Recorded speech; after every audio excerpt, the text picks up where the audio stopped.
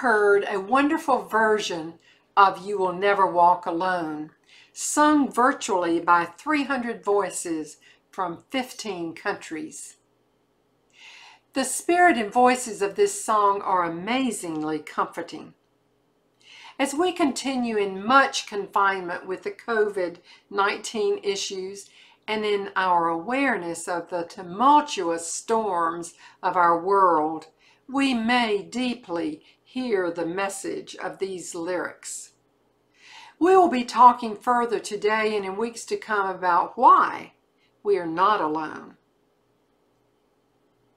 Today, Richard is reminding us of the life that is being prepared for us in heaven itself. Even as we live out our days here, on the brink of that glorious eternity. Mary is reintroducing us to Charles Wesley, during the 1700s a founder of the Methodist denomination. He wrote over 7,000 hymns. It was said that he penned on the average of 10 lines of poetry a day for 53 years writing these hymns. The lyrics of his hymns are lessons and sermons in themselves about the subject of our great God, his work, and his purposes. As we sing several of them today, the clearest videos are with choirs, particularly the Grace Community Choir. A trio of young singers with instruments produced Rejoice the Lord is King by Wesley. Their, pur their purpose was to help the church sing when they could not meet together. As I continue to read and think from several sources, I am drawn to know more for myself about the nature and the work and the purposes of God, thinking much about the turbulence that we daily experience. I have quoted from Jonathan Cahn and found from him again great insight. He was discussing one of the names of God, which is Elohim. The name, of course, is a noun, and in the Greek, the last syllable, him, is plural.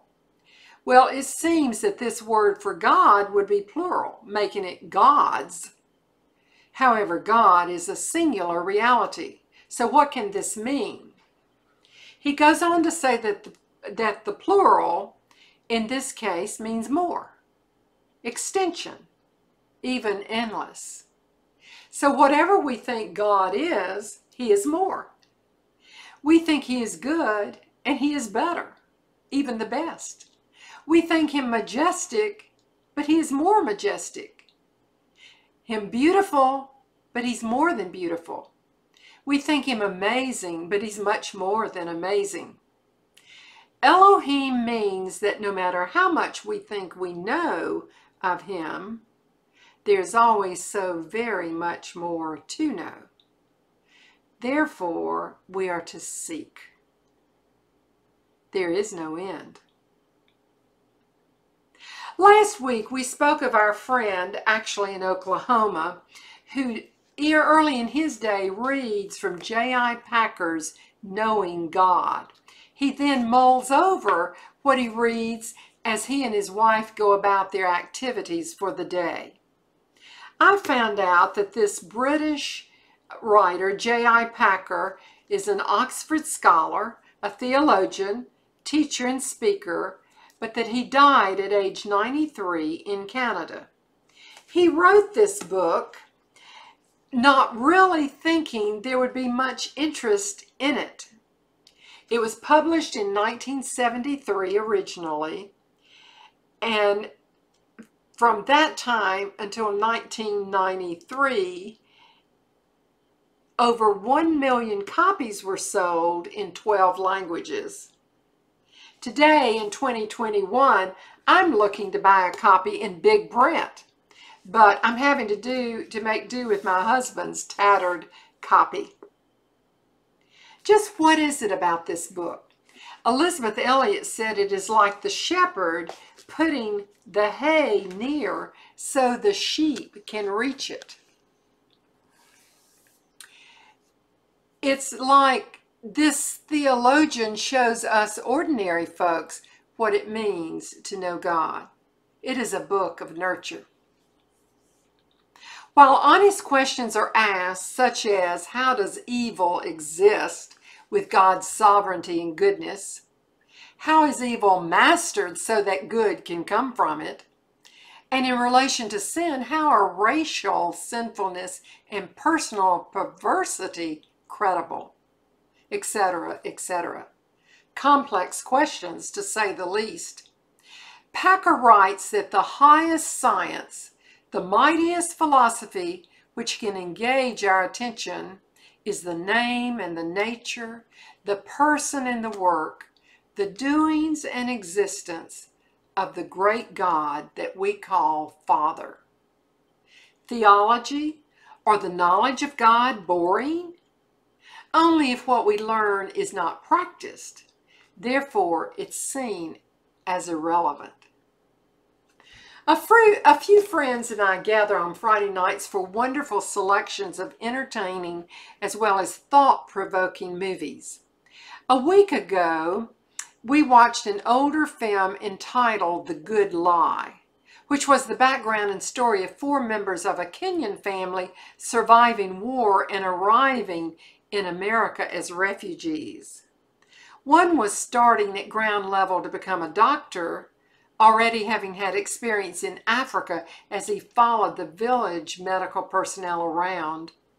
Their mother, who did not survive the vicious attacks by guerrilla warfare, had taught them to read, and as Christians they read their one copy of the Bible. The film is the story of their experience within the new American culture. They survived it also with great integrity, but further challenge and sacrifice. Packer writes that without the knowledge of God, we ourselves are types of refugees within the kingdom of God. We blindfold ourselves so that we stumble and blunder through life with little or no sense of direction or understanding of what surrounds us. It is indeed possible to waste our lives and lose our souls as well. The particularly good news, though, is that wherever we are, we can start over, even in the middle of storms. The purpose of studying God is to know Him, to enlarge our acquaintance. As we use the right end of the telescope for this study, we will know God is the subject of the study. Our, he also would be our helper for the study and the purposeful end after the study. We're taught by Packer that as we learn, we think and we meditate, we pray and we praise. And this results in calling these things to mind thinking over them, dwelling on them, applying ourselves to the works and the ways and the purposes and, and the promises of the God who we, whom we come to know in the process of the study. As our knowledge and our attempt to apply it increases, there is also an increase of peace and strength and joy for our lives. If you want, pick up a copy of this book and read along with us. You will find it at a half-price bookstore or at a Christian bookstore or even through Amazon books ordering by mail. We will be pulling thoughts from this and talking further of these things in coming weeks. For now, have a great week.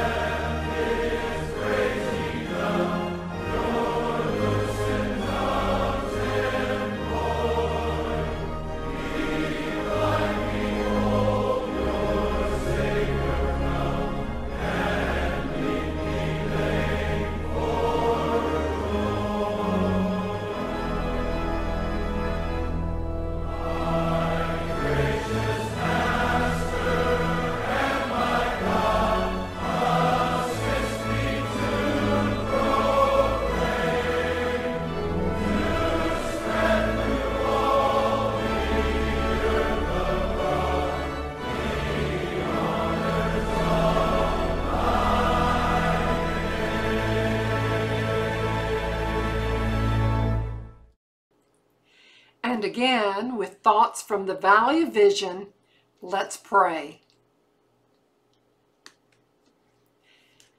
Our God and Heavenly Father, at this stage of our lives, we are learning in part that there is no comfort in anything apart from enjoying you. You truly are all in all, and any pleasure that we have is what you provide us. We are in danger of doing what is unwise, and you are infinitely wise. We thankfully leave all things at your disposal. Our prayers turn to adoration because of your goodness. What should we do for you? We may even want to make some return to you, but realize that we have nothing to offer. We can do little, but through grace cheerfully, we can surrender our souls and our bodies. Lord, we know that you are the author and finisher of faith, that the whole work of redemption is yours alone, that every good work or thought found in us is the effect of your power and grace working in us to do your good pleasure. We thank you this day for teaching us these things, for drawing us to yourself so that we might commit to these things. May we continue learning of you so that daily we may refer to you for all things. We pray through grace alone, by faith alone, in Christ alone. Amen.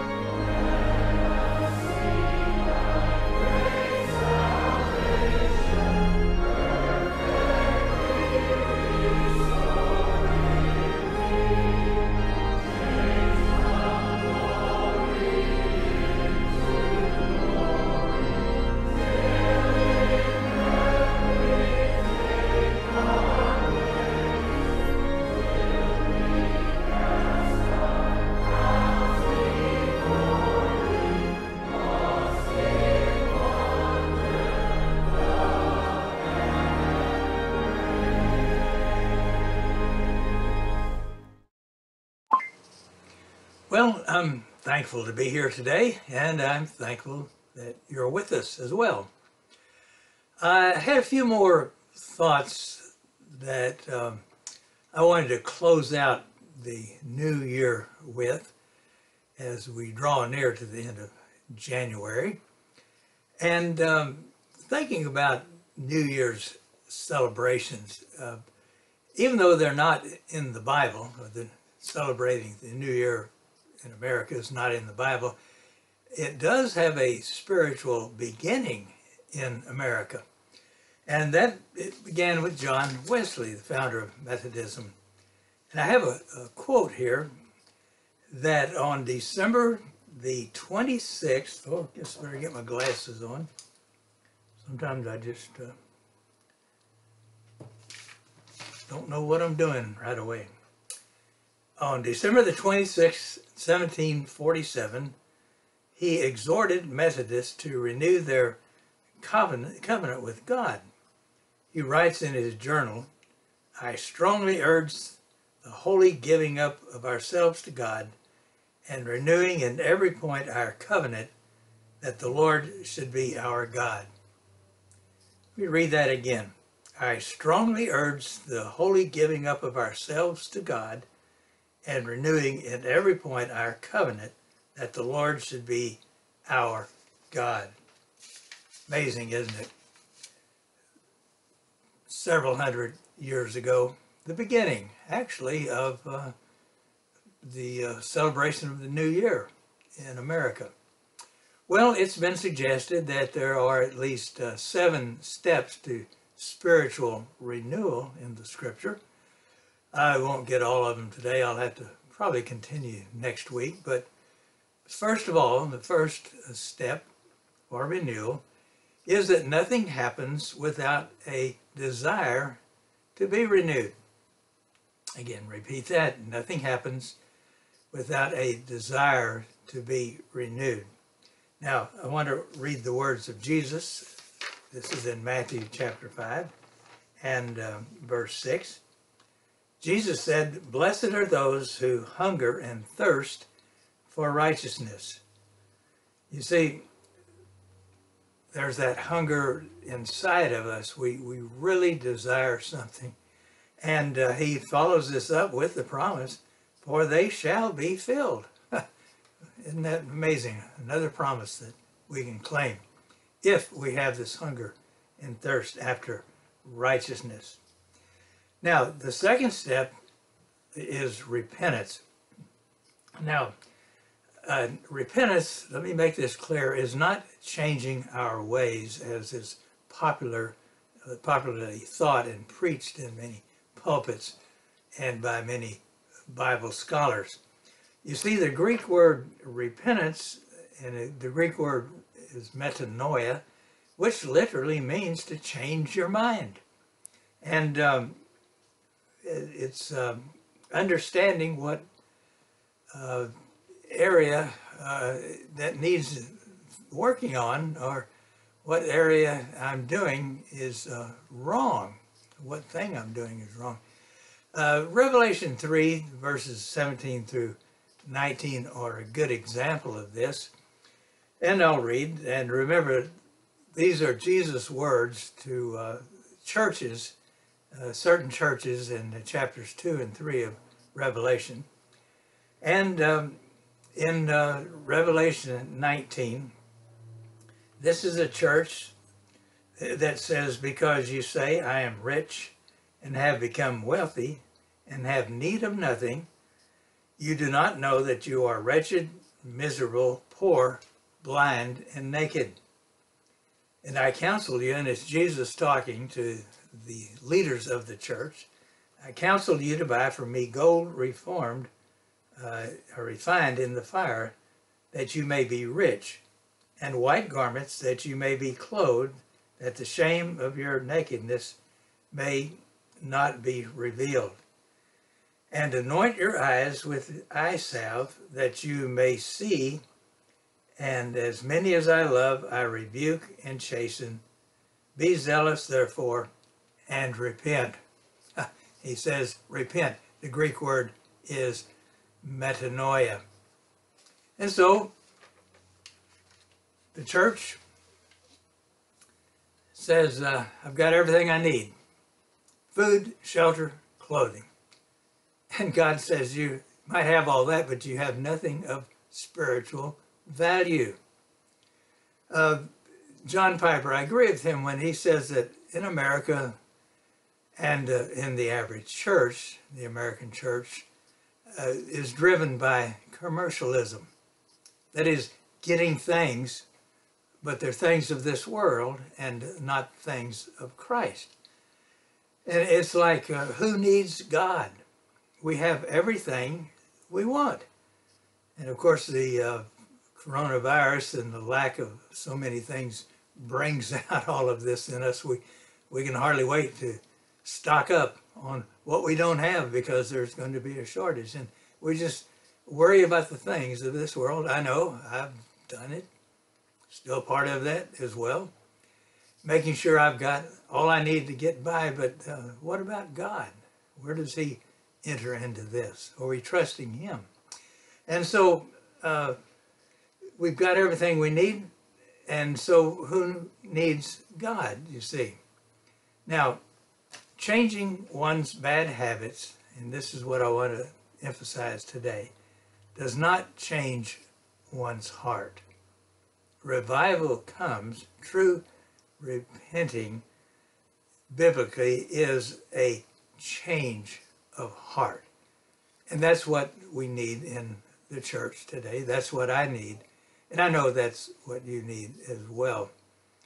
First of all, have a desire to see revival. And then secondly, to have a desire to change what we're doing wrong. And we need to ask God exactly what that is. So I trust that um, you'll take these things to heart and also be with us next week and uh, I'll continue and hopefully conclude in this devotional time. So join me in prayer, I ask. O Lord God, Almighty ruler of heaven and over earth, we approach your throne of mercy and grace with thankful hearts. We confess uh, that so often we are full of ourselves and empty of your spirit. So lead us, we pray, in the path of righteousness for your name's sake. We are thankful for the leaders of our nation and pray that they would recognize your authority and your law. Help them and help us as we continue working through the COVID-19 virus and the crisis. And please give us patience as we wait for the cure and I ask for your blessing on everyone who watches this ministry today and upon all who uh, have uh, understood the content and and those provided the content for the program. All these things we ask in Jesus' name and for his sake. Amen and amen.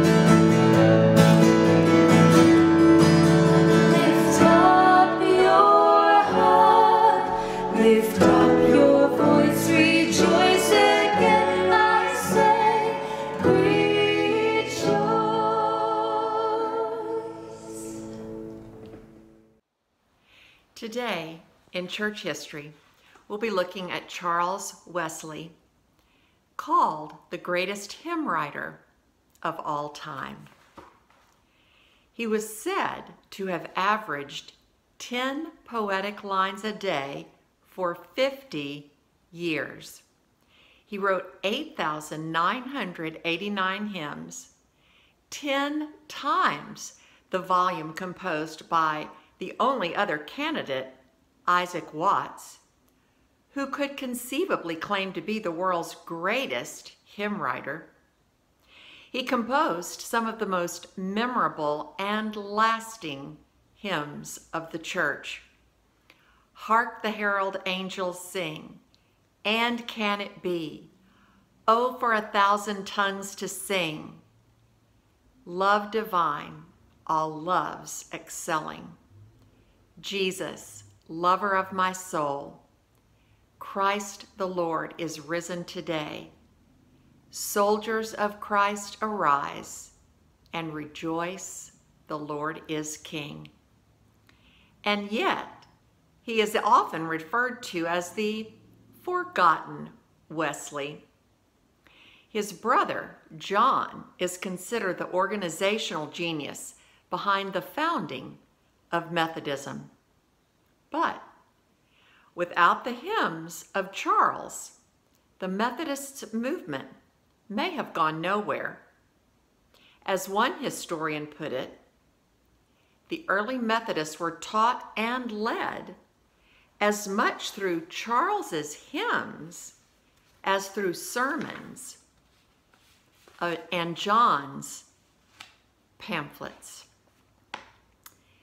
Charles Wesley was the 18th of Samuel and Susanna Wesley's 19 children. Only 10 lived to maturity. He was born prematurely in December 1707 and appeared dead.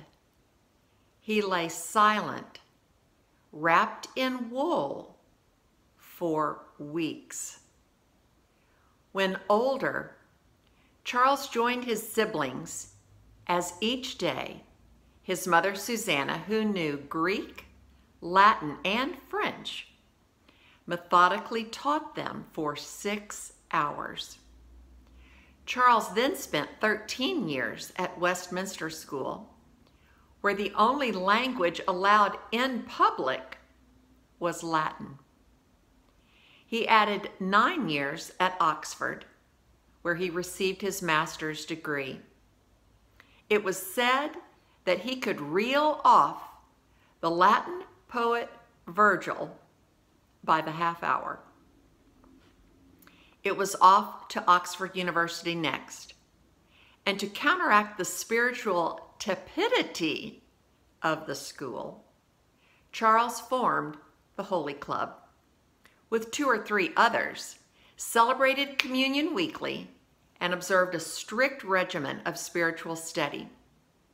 Because of the group's religious regimen, which later included early rising, Bible study, and prison ministry, members were called Methodist with a lowercase m.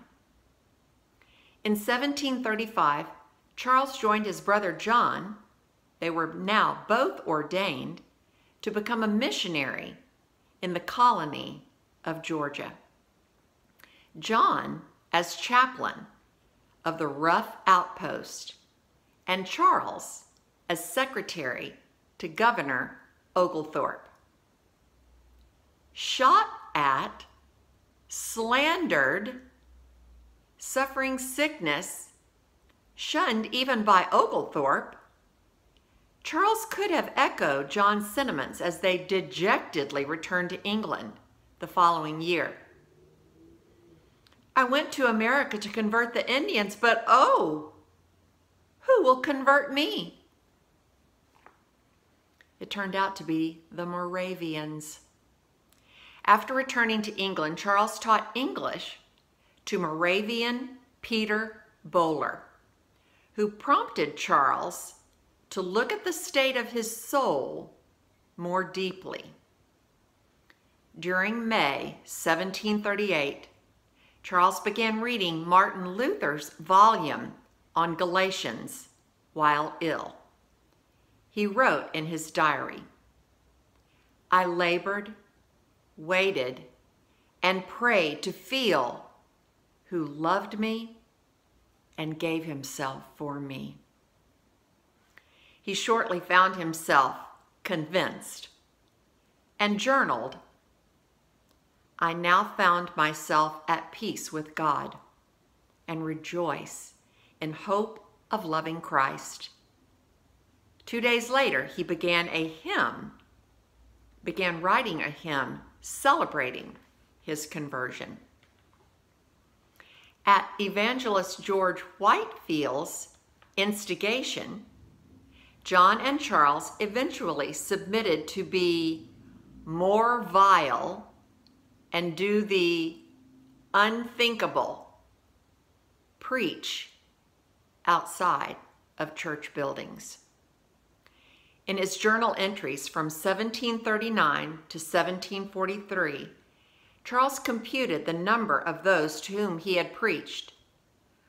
Of only those crowds for whom he stated a figure, the total during these five years comes to 149,400. From June 24 through July 8, 1738, Charles reported preaching twice to crowds of 10,000 at Moorfields, once called that Coney Island of the 18th century. He preached to 20,000 at Kensington Common, Kennington Common, plus gave a sermon on justification before the University of Oxford. On a trip to Wales in 1747, the adventurous evangelist, now 40 years old, met 20 year old Sally Gwynn, whom he soon married. By all accounts, their marriage was a happy one. Charles continued to travel and preach sometimes creating tension with John, who complained that, I do not even know when and where you intend to go. His last nationwide trip was in 1756. After that, his health led him gradually to withdraw from itinerant ministry. He spent the remainder of his life in Bristol and London preaching at Methodist chapels.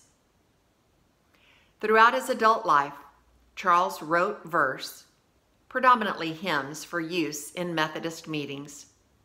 He produced 56 volumes of hymns in 53 years, producing in his lyrics what Brother John called a distinct and full account of scriptural Christianity the Methodists became known and sometimes mocked for their exuberant singing of Charles's hymns.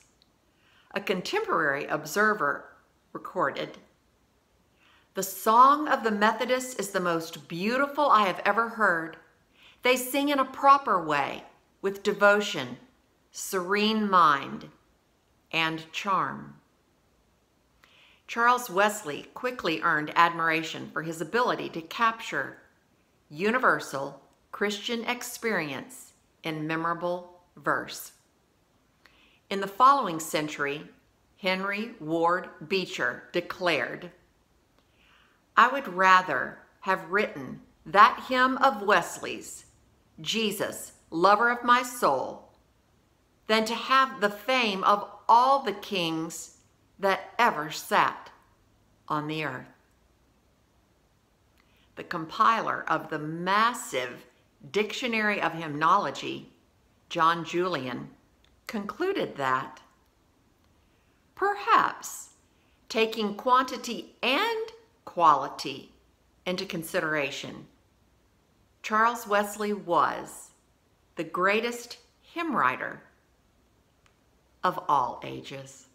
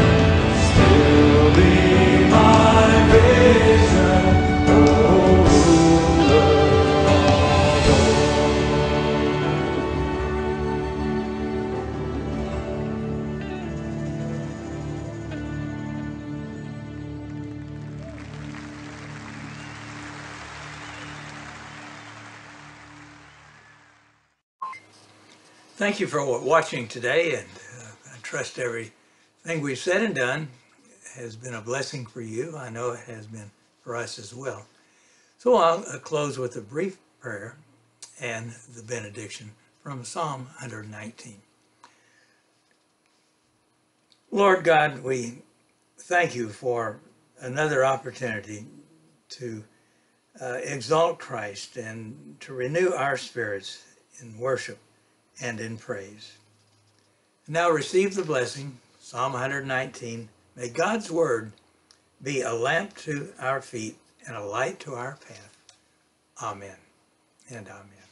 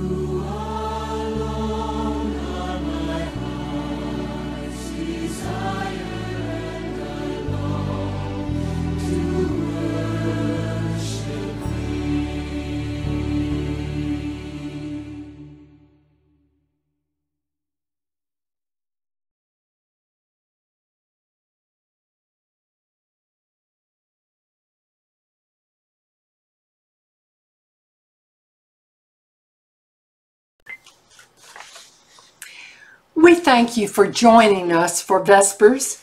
Each week, you may receive the link by email if you will message me, Emily Weaver, with your address. We appreciate your prayerful attention and your valuable time. We also would appreciate your clicking the red subscribe button if you have not already. Thank you too for clicking the like button, that's the little thumbs up, and commenting as you might be led. Finally, below the screen is a share option which allows you to share the program with your friends and family through such sources as email, Facebook, and text. By pressing the very small arrow under your screen, you will see the timeline and information of contributors for the program. Should you be interrupted, you can look there and pick back up where you left off. Scrolling further down will take you to a blog which describes the early days of our Vesper work.